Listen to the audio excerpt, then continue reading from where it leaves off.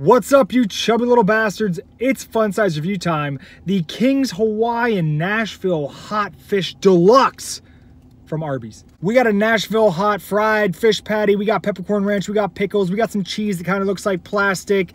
And we got a King's Hawaiian bun.